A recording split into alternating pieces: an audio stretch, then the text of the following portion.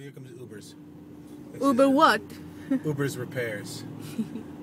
if anything's broken, Ober can fix it. Ober's a genius.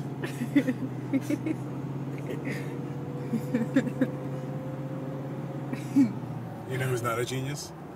Ober's parents. Uh, I don't know. Let's call him uh, Ober. Uh, and now we're on. What was it? Six, 46? 46. East. West. What the fuck? I know. It's crazy. Uh, and we're going to Amish place yep. uh, in Lancaster. Lancaster, PA. And how long is the drive? Two hours and 40 minutes. That's pretty fucking sweet. That's nothing for us. Yeah. And it's early.